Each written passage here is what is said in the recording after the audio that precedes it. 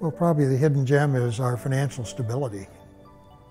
Um, where other cities have been in a lot of trouble, um, and so many of them are in debt to the state for uh, PERS, and our city is not.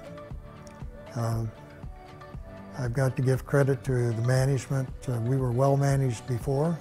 We're still well managed.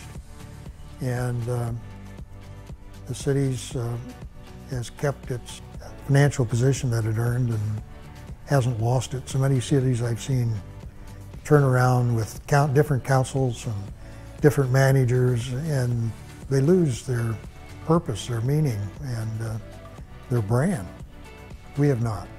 I think my favorite thing is that it's pretty much a close knit community, and the fact that uh, even City Hall, it's always like you know somebody at City Hall. I have to always go back to the, the early days when I was teaching here.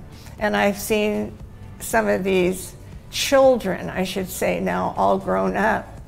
And I know some of them have said to me, Mrs. Brookson, I'm 47 years old. And I said, and I said to somebody a few years ago, I would know you any place.